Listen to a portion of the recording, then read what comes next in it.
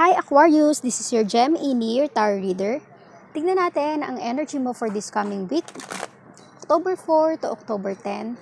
Ano ang energy mo for this coming week? Aalamin natin ang past, present, and future energy mo using this tarot card.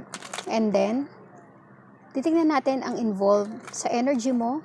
Sino ang involved sa energy mo using keeper cards And hihingi tayo ng advice or mensahe using monology cards. Aquarius, ano ang energy mo for this coming week? Just a reminder, this may or may not resonate with you so don't take it personally. This is just a guide. Aquarius, ano ang past, present, and future energy mo for this coming week?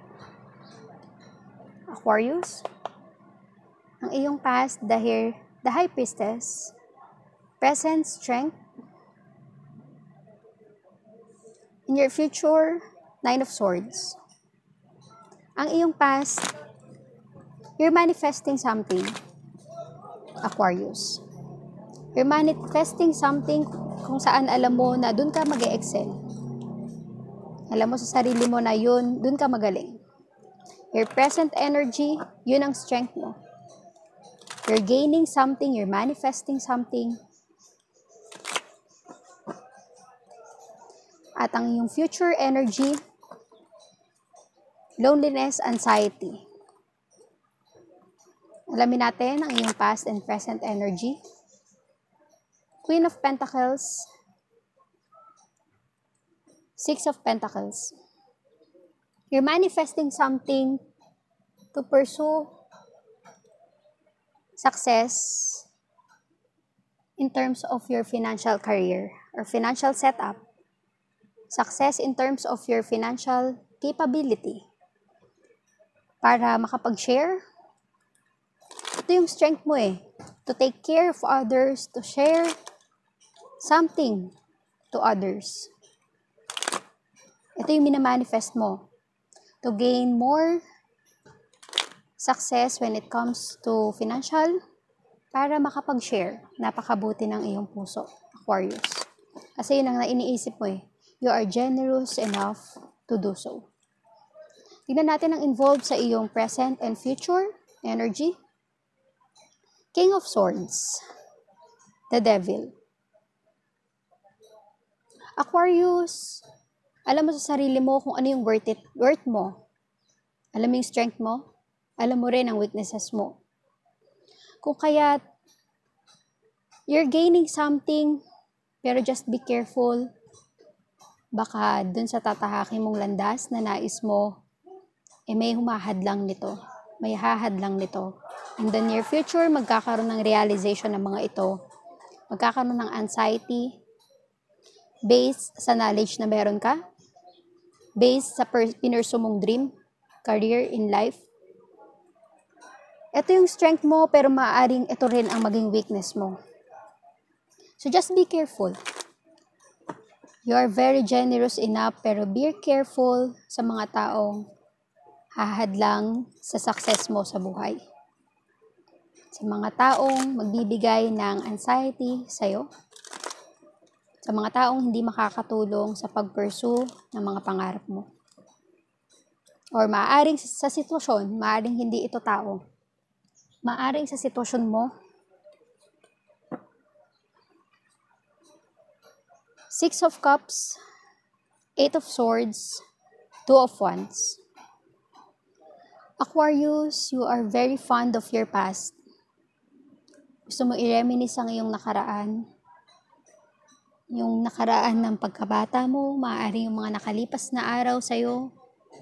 Gusto mo i-reminisce yun. You are very in love with your past.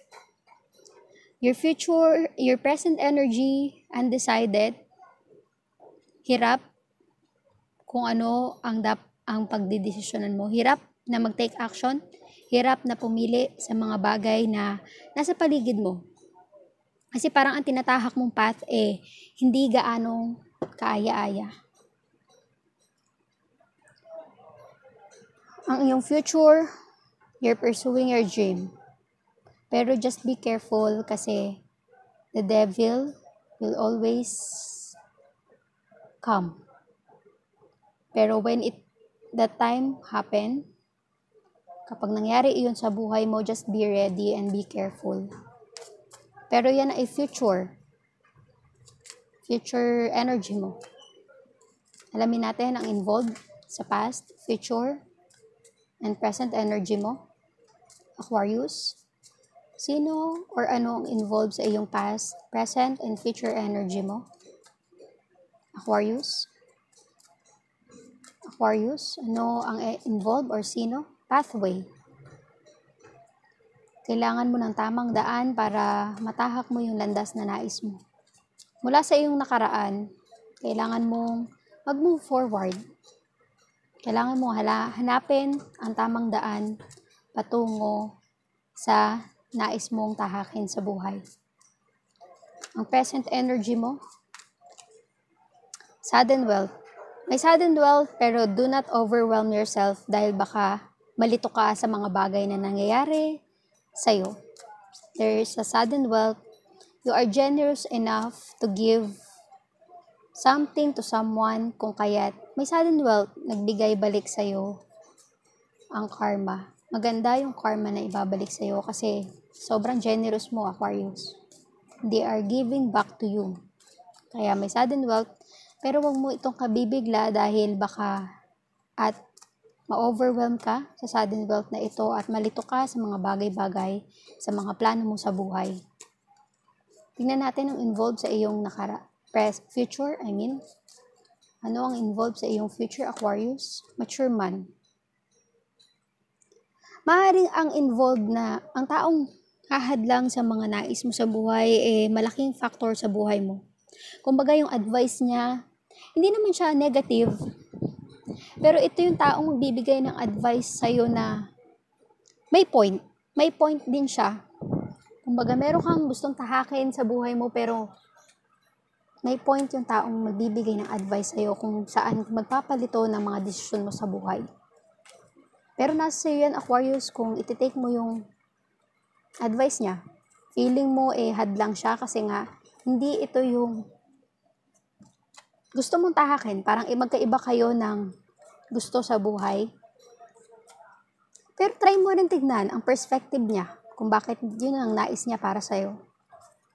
Huwag mo siyang i-take as hindrance sa growth mo. Iway mo pa rin, try to consider ano ang advice or mensahe na nais mong iparating kay Aquarius? Advice or mensahe na nais mong iparating kay Aquarius? Ano ang advice or mensahe na nais mong iparating kay Aquarius sa kanyang past? Show the world the real you. Aquarius, ipakita mo sa lahat kung ano yung kung ano meron ka, anong galing ang meron ka. Huwag ka mahiya. Just show it. Hanapin mo kung saan ang nararapat para sa iyo and doon ka mag excel Tahakin mo yung daan na kung saan yun doon ka magaling. Present advice para sa iyo nating is yet set in stone. Wala pang sigurado. So do not overwhelm yourself sa wealth na makukuha mo, Aquarius. Just always save, invest. Huwag ma-indulge, huwag ma-overwhelm too much. Ano ang future advice para sa iyo, Aquarius? Ano ang advice para sa future mo na maaari mo makonsider? Luck is on your side. Aquarius, luck is on your side. Just believe in yourself. Pero try mo rin na tingnan yung mga opinion ng ibang tao na nakakatatanda sa'yo. Maaaring meron din silang mabigay na advice para sa'yo. Pero just remember kung ano man yung anxiety na dadaan sa'yo in the near future, just remember luck is on your side. Thank you Aquarius sa iyong pakikinig. Please like, share, comment, and subscribe for more videos. Thank you Aquarius.